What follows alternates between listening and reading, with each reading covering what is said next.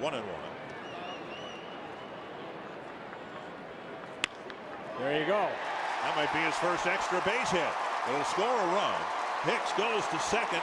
His first hit is a right-handed batter, and it drives in another run. Well, drives in two runs. Yep.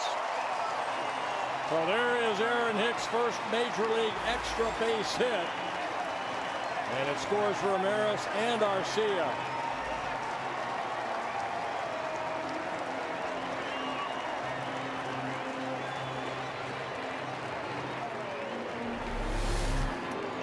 On a breaking ball and Hicks hitting it right down that third baseline. Baker can't get it to knock it down.